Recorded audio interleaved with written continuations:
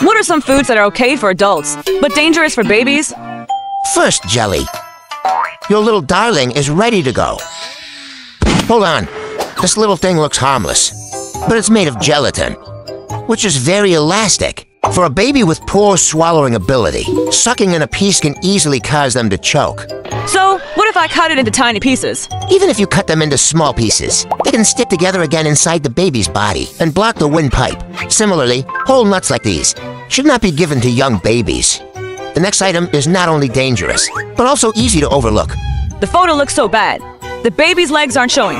The photo is not about alcohol. Some older people have a habit of letting babies taste alcohol, but if this alcohol enters their body, Great! We have to start training their drinking tolerance young. I'm here to train you all. Why is no one motivated? A baby's digestive system can't break down alcohol. Oh, Rain, what do we do?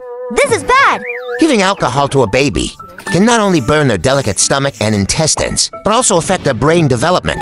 Then I'll just go train the dad. A baby's sense of smell is very sensitive. If an adult smells strongly of alcohol, it can also irritate the baby. Dad, drink less and spend more time with your baby. They'll love you more. I'm the Garden of Knowledge, providing family healthcare videos for you.